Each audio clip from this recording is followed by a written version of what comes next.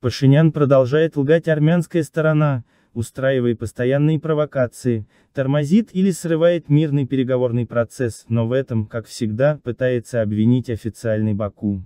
Как передает АЗ. Эйзи со ссылкой на канал Росарминфо. Премьер-министр Армении Никол Пашинян заявил, что руководство Азербайджана нарушило сочинские договоренности о воздержании от применения силы и угрозы ее применения.